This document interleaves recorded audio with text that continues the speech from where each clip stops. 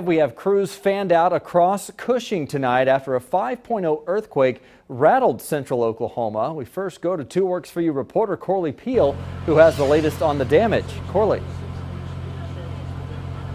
Brian, city officials say the earthquake damaged more than 40 buildings here in downtown Cushing.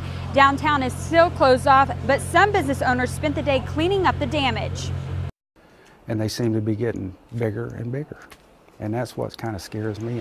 Today, many people in Cushing are in shock after an earthquake shook the town Sunday night. You just keep shaking is what you do, waiting on the next one. And I didn't realize how bad it was. I was, I was shocked, really shocked at the mess. Several downtown buildings like the Old Song Sung Antique Shop sustained significant damage. This is our broken glass container. Gary Smith says thousands of antique glass inside the store shattered on the floor, along with structural damage inside and outside the building. These people spend a lot of time collecting this stuff for sale. When it breaks, you lose money.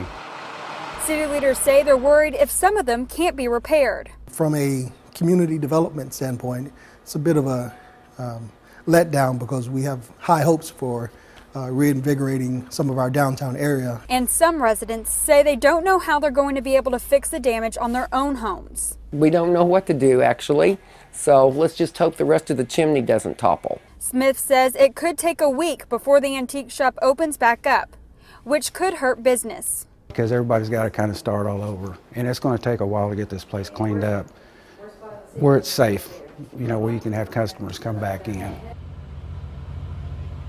Officials say it could take 24 hours until they determine when they can reopen downtown. They say their main priority is to make sure citizens are safe. Reporting live in Cushing, Corley Peel, Two Works for You. What